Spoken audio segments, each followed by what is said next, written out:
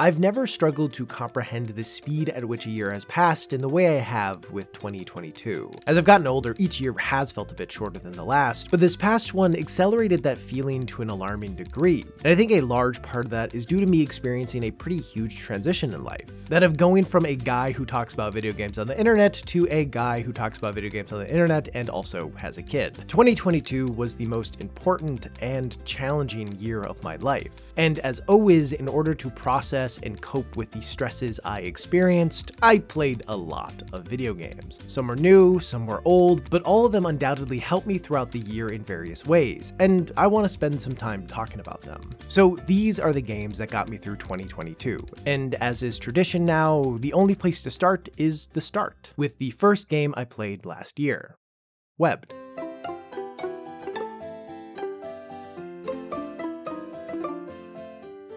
Every January, I typically look for a comfy game to play, something that doesn't take too much thought and is largely designed to make players feel good, and Webbed filled that role well. What really makes the game tick is its use of movement, which centers around one of the most satisfying swinging mechanics I've seen in a game. It takes actual thought and some skill to get moving efficiently, but is still forgiving enough that it never gets frustrating. Webbed was a cute and calm way to kick off the year, the sort of low stakes game that recenters you a bit, one that I didn't have to invest all that much time or energy into, but still got a great sense of satisfaction for experiencing. And at the time, I expected to seek out more titles like it throughout the year, as I figured with the quickly approaching life change, they would be easy games to fit into a new schedule and also help manage stress levels on especially tough days. But that didn't really end up being the case. Despite Webbed being a delightful time and me thinking I wanted more of it, I quickly dove in the opposite direction for no real reason, and instead sought out games that challenged me in one way or another, ones where the enjoyment comes from the struggle, which led me to what ended up being my favorite game I played last year, FromSoft's greatest masterpiece, Sekiro Shadows Die Twice. I'm not proud to admit this, but I actually bought Sekiro the day it came out and refunded it after an hour, as I just wasn't mentally in a place where I was willing to deal with excessive amounts of failure. But last January, I finally was. After jumping back into it, I still found the game to be wildly difficult, but instead of feeling demoralized by it, this time I felt encouraged. In a way, and I'm sure I'm not the first or last person to say this, it reminded me of the first time I played a Souls game. When I originally tried out Demon's Souls over a decade ago, I had never played anything like it. I was used to combat where you could almost always get by with button mashing and the occasional well-timed dodge, but Demon's Souls asked so much more from me, and I had to shed habits I had developed from other games in order to master it. However, after playing through the Dark Souls series and Bloodborne, I pretty much figured out what to expect from FromSoft combat, and what had once been fresh and unique became ordinary. But Sekiro doesn't adhere to the typical Soulsborne formula. While the influence of those games can clearly be felt, it challenges all players, from newcomers to die-hard FromSoft fans, to master new mechanics and strategies that are far different than almost anything they've seen before. Sekiro managed to recreate the feeling that got me to fall in love with FromSoft in the first place by being so different from their other titles in terms of gameplay. It surprised me in a way that few games ever do, while still feeling familiar and comfortable by including many of the trappings I expect to see in FromSoft titles. It reminded me of how much I love the feeling of becoming good at a game, of learning its systems and inner workings and engaging with as many mechanics as possible in order to overcome its challenges. Since starting this channel, I've often fallen into a pattern of just playing through games to play through them, to have something to talk about for these videos, but Sekiro pushed me to do more than that. It wasn't something I could get through on autopilot. I had to engage, I had to learn, and it reinvigorated my love of hard games, so I kept playing them. After beating Sekiro, Sifu conveniently came out, which felt a lot like Sekiro, but that was exactly what I wanted. Something that kicked my ass until I actually took the time to figure it out. And then not long after beating that, Elden Ring released. And boy did I play a lot of it. For a two week period, I lived in the lands between. With my wife's due date quickly approaching, I wanted to beat the game completely before my daughter was born, as I didn't know what things would be like after. And I have left enough games half finished to know that Elden Ring would have suffered the same fate if I took a substantial break from it. And I think this was the wrong way to play it. Elden Ring not only has the grandest scope I've ever seen in a game, but also an attention to detail that few titles ever achieve. And in my desire to check it off the list, I think I underappreciated a lot of what the world has to offer. To be clear, I did get all the achievements, so it isn't like I skipped past major content, but I never took the time to really soak things in. And now that some time has passed, it feels like something I consumed instead of truly engaged with. It's a once in a generation game, and I feel like I kind of wasted it. Also, due to the sheer number of hours I put in each day, certain aspects of it became a bit grating and frustrating because it's easier to spot and be annoyed by a title's flaws when you play it non-stop. That isn't to excuse the many real problems with Elden Ring, but I don't think they would have defined my experience as much had my play sessions been shorter and more spread out. To be honest though, even if I hadn't had the time constraint of an oncoming child, I probably would have played it in a similar way. Especially in the gaming content creator field, there is this pressure to be up to date with every major release, which I think drives a ton of people, myself included, to play games in suboptimal ways. I typically don't put out videos on brand new games as I am too slow of a video maker to do that, so there isn't really a reason for me to rush through things so much. But I often find it hard not to do, and it's almost always to my detriment. To be clear, I did still love Elden Ring. It was an experience unlike any other. I just wish I hadn't been so determined on putting it behind me. With that said, I do think it provided a much needed distraction to keep me from spiraling about all the things that get people to spiral during the final weeks of a pregnancy. It kept me occupied, and while the way I played it may have hurt my enjoyment of the game long term, it did get me through that time. A few days after getting my last achievement in Elden Ring, my daughter was born and I didn't play anything for three weeks straight. Now, for some of you, that might not sound like much time at all, but for me, it is the longest stretch I've gone without playing a game for, I don't know, ever. Games have always been a big part of my life, and especially since starting this channel and then it turning into a job, they've become a part of my identity. I do do other things in life and have interests that aren't video games, but obviously games are important to me, so not playing anything for nearly a month felt weird and a little scary. During the first few weeks of parenthood, life changes completely, which is something every first-time parent knows will happen, but chances are they don't know what it'll look like or they don't know how it'll affect them. The combination of sleep deprivation and dedicating every waking moment to worrying about someone who can't take care of themselves is a hell of a thing. I knew my life would change, but for a time, I barely felt like a person at all, as my single function was to take care of my daughter. The idea of ever feeling some sense of regularity, of getting back to something that even partially resembled the life I had before, seemed impossible. I didn't know how to be myself. And then one day, while my daughter took a nap in her portable bassinet, I set her next to my desk and booted up Tunic. Tunic is a game that clearly loves other games, its most obvious inspiration being the NES Zelda titles, and it manages to capture a lot of the same energy of them without nearly as much of the frustration. There is a sense of mystery to the world, and in some ways, it is the game I wanted the original Legend of Zelda to be when I first played it as a kid. I won't talk about specifics as it is the kind of game that is better to know very little about before playing, but it is filled with clever puzzles and secrets that many players will never even realize are there, and the rewards for uncovering these things actually matter. A big part of what made Tunic the perfect game to play during that period was that even when I wasn't playing, I found myself thinking about the various mysteries, most notably the ones surrounding the mountain door and trying to solve them, which helped break up some of the monotony of changing diapers, washing bottles, and doing laps around the house while holding my daughter in the hopes of getting her to sleep. It's a rare title where ruminating on it between play sessions is part of the process, making it so I could be playing even when I wasn't actually playing,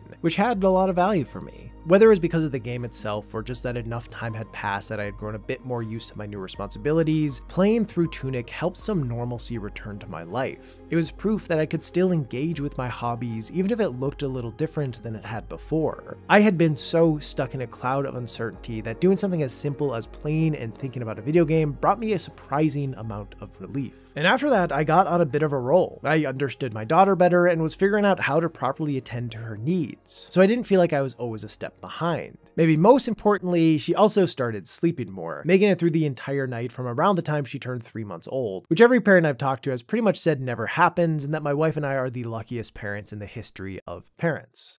Which is true. All of this gave me more time and less exhaustion, so I busted through a ton of games. Ratchet and Clank A Rift Apart provided a fun adventure to get lost in with an intuitive weapon progression system that I hope more games use. Neon White got me to spend far too much time replaying the same levels over and over again in order to do them faster than my friends, only for them to then immediately break my records with times I could never hope to get. Card Shark made me use my brain in a way I hadn't since having a kid, memorizing different tricks and recognizing patterns in order to cheat the French countryside out out of as much money as possible. A Link to the Past reminded me of just how good A Link to the Past is. Like, seriously, the fact that a game with this good of design came out in 1991 still kind of baffles me. And the Stanley Parable Ultra Deluxe proved that the best way to get a new perspective on things is by carrying a bucket. Regardless of the game, it was just nice to be playing things again. Being able to engage in something that had seemed impossible not long before felt both reassuring and liberating. When my daughter was born, I went into 100% dad mode, leaving little room for anything But as time went on, I learned how to better fuse being a dad with the person I was before. This stretch of playing a bunch of different titles did slow down considerably, but not because I wasn't spending as much time playing games. It was just that I spent most of my time playing one game, that being The Witcher 3.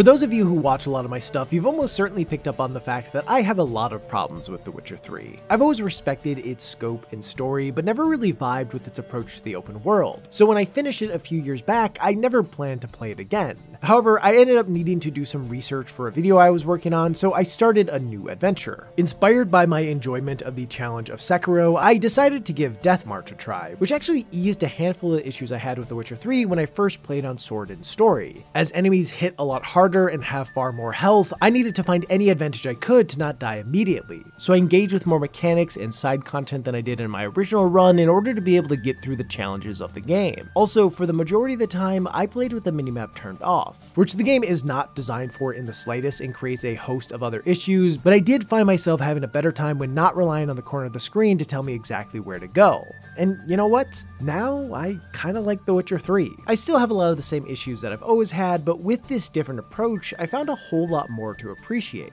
I also finally played Hearts of Stone and Blood and Wine, which in my opinion are both way better than the base game, and I have plans to talk about them more in a future video. All things considered, The Witcher 3 is still not my kind of game, but it did feel nice to be pulled in by his charm in a way I hadn't on my original playthrough. On this go, I took my time with it, and did what I could to appreciate all the small details that make the world of The Witcher 3 feel so alive. I learned from my mistakes with Elden Ring, and got a lot out of it because of that. For most of the summer, it was was the main game I played. And it was nice to have a constant like that in my life, because during that period, it felt like I had a different baby every other day. I also found that the story of The Witcher 3 hit different now that I'm a dad. Geralt's father-daughter relationship with Ciri resonated with me a fair bit, and although I am certainly at a much different stage of parenthood, I couldn't help but connect with Geralt in a way I hadn't before. A similar thing happened with God of War 2018. I replayed it in preparation for Ragnarok and was surprised to see how much my perception of the game had shifted. It didn't revolutionize my understanding of the story or anything that drastic, but where on my first playthrough I saw a lot of my past self in Atreus' coming of age story, in this one I mainly spent my time empathizing with Kratos' struggle of finding the right way to raise and connect with his kid. In both cases, it was interesting to relive these video game dad stories, but now with a little fatherhood experience under my belt. I have a lot more to say on this topic, but that will be for a different, much bigger video. In regards to how it affected last year though, my time with The Witcher 3 and God of War 2018 made it abundantly clear that the lens I use to look at games through has changed forever. While that lens is always shifting, it typically happens gradually, so having the way I view things change so rapidly has felt a bit jarring, but I am excited to see where it leads me moving forward.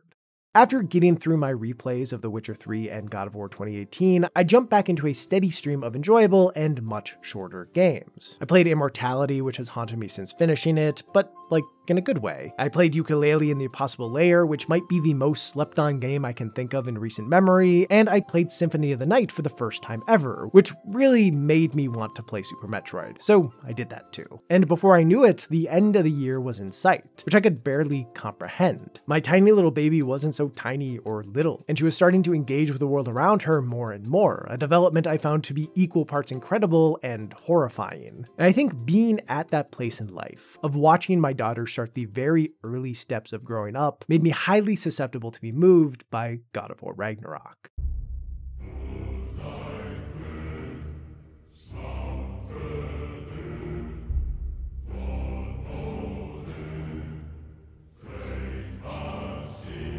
Ragnarok expands the scope set by its predecessor in pretty much every conceivable way. The world is larger and more diverse, the combat has greater depth and variation, and the story branches out into something far bigger than a tale about a father and a son learning how to connect with one another. It explores fate, family, friendship, forgiveness, purpose, loss, vengeance, and yeah, also still father and son stuff. And for the most part, it succeeds on all fronts. I know its story and tone are somewhat divisive, but I found both to be entertaining and engaging. The different ways each of the story's themes apply to all of the major characters creates a complex and wide examination of the game's core ideas. There are so many powerful aspects to connect with, but of course, as a recent dad, the thing I related to most was Kratos grappling with the idea of Atreus not needing him in the same way he once did. A large part of Kratos' story is him trying to figure out what role he should play in Atreus' life as the boy becomes the god he was destined to be. Which I get. Obviously, my daughter isn't even talking yet, aside from some ba ba ba's and if I'm lucky, da da da's, so I have no idea what it is like to raise a teenager. But I have come to understand that my role as a dad will constantly change. And one of the hardest things about being a parent has been determining when she is ready for the next big thing, when she is ready for us to let go of it. There have been a handful of times already where my wife and I thought she wasn't old enough or strong enough to try something, so we avoided putting her in certain situations. But in pretty much every instance we did that, we learned that she in fact was ready for those things, and we just needed to give her the chance to do them. And at this point, it's all pretty low stakes stuff, like her feeding herself or taking naps on her own. But as time goes on, those stakes will only get higher, and I'm going to need to find the balance between not holding my daughter back while still protecting her.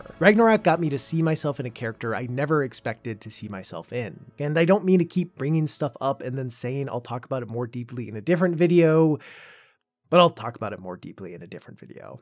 The final game I played last year was Vampire Survivors. I don't really know what to say about this title aside from it made my brain go burr. In a similar way to Hades, it was a game I heard tons of praise towards, but when I saw footage of it, I struggled to believe it was as good as people said it was. But after finally playing it, I completely understood. It's a dopamine factory that takes just enough thought to keep you engaged while not requiring so much focus that you ever get stressed out. After a busy few months of running the channel, getting sick every other week, and being a dad, it was the perfect way to end off 2022. Normally, when I look back at a year, I remember the things that happened within it thematically. The time itself all sort of blends together. It doesn't matter if I experience something in March or November, I almost always end up viewing things in regards to how they impacted me opposed to the order they actually happened. I've never had much of a reason to reflect on how a year went in a linear fashion. Last year, though, was different. I watched my daughter grow from a newborn into a terrifyingly mobile infant, and the progression of that transformation will always be burnt in my brain. So much so that when I think about the games I played last year, I can't really organize them by how they made me feel like I usually do. Instead, I can only remember them in relation to my daughter. Elden Ring was when I hadn't met who would soon become one of the two most important people in my life. Tunic was when she was so small and knew that all she could do was sleep, cry, and occasionally track things with her eyes. Rift Apart was when she started smiling. Neon White was when she first slept through the entire night. The Witcher 3 was when she started to laugh, and also when she learned how to roll over, and also when she got her first tooth, and also when she got her second tooth. God, that's a long game. Yooka-Laylee in the Impossible Lair was when she started started sitting. Symphony of the Night was when she ate her first solid food. God of War Ragnarok was when she got strong enough to grab the slates of her crib and pull herself up to stand. Vampire Survivors was when she crawled for the first time. I don't know if this will always be how I perceive time, the things I play, and my daughter's life, but for this past year, it was. More than ever before, I have a lot going on in life. Thankfully, the vast majority of it is good, but even good stuff requires a lot of thought, energy, and maintenance. I've always used games as a way to help ground me, and 2022 was no different. I have not by any means mastered being a father, or a YouTuber, or even just a person. I still have a lot to learn about how to balance my various roles in life, and with both work and fatherhood, I have no clue what tomorrow will bring. What I do know though is that this past year, games were a constant during a time of wild and continuous change. They gave me hope and relief when I needed it, and I know for a fact that 2022 would have been harder without them. There are far more important things in life than games and hobbies in general, but it is surprisingly easy to get consumed by those more important things, to lose yourself in them. And that's why it's important to have something to turn to every once in a while that feels like your own. And for me, that will always be games. So here's to the new year, and hoping that Silksong actually comes out. And in lieu of a real transition, let me tell you about this video's sponsor, CuriosityStream. CuriosityStream is a streaming service that is the best place to watch thoughtful, engaging, and fun documentaries. Their library has thousands of titles, and whether you're looking to veg out on something about nature or learn about what advancements we've made in science over the past year, it has you covered. I've been using it for a while now and have never struggled to find something great to watch. Like most recently, I checked out The True Story of Pirates, which follows a crew of archaeologists on an expedition to investigate a sunken pirate ship, and goes into the many ways of how actual pirates differed from how they've been portrayed in the media. And it was both fun and informative. No matter your interests, you're to find tons of stuff to watch. And currently, if you sign up for Curiosity Stream by clicking the link in the description, you can get 26% off a year's membership, which comes out to less than $15 for the year. As far as value goes, with what you pay for one month of most other services, you get 365 days of Curiosity Stream, making it an unbeatable deal. It's a really great service that everyone can get something out of, and for less than $15 a year, it's kind of a no-brainer. So check it out, learn something new, and enjoy yourself. Anyway, thanks to Curiosity Stream for sponsoring this video. To all of you still here, hey.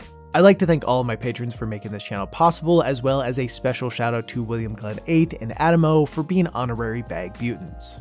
I appreciate you. With that, I wish you the best in this new year and hope you have a great day and or night. I'll see you in the next one.